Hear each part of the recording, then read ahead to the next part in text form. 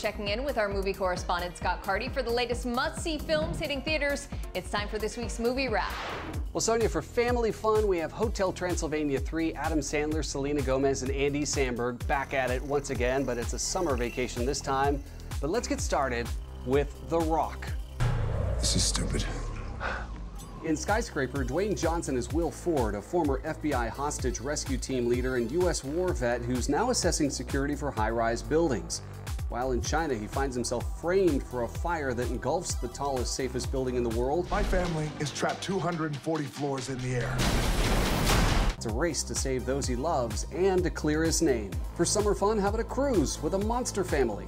Dad? No, babies! You're stressed out from working too hard. You need a vacation from running everyone else's vacation. Hotel Transylvania 3 summer vacation finally gets Drac away from the hotel along with the rest of his monster clan. And it's all fun and games until Mavis discovers Drac is falling for the captain. You must be the one and only Dracula.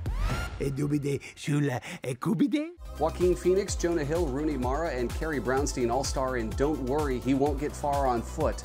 Directed by Gus Van Sant, it's a festival favorite, with Phoenix as a man who finds new hope in his life full of rough edges. After an accident confines him to a wheelchair, he reveals a gift for art. Another festival favorite starting to open in theaters across the country is Eighth Grade. Bo Burnham wrote and directed the relevant and revealing journey of an eighth grader's final week of school.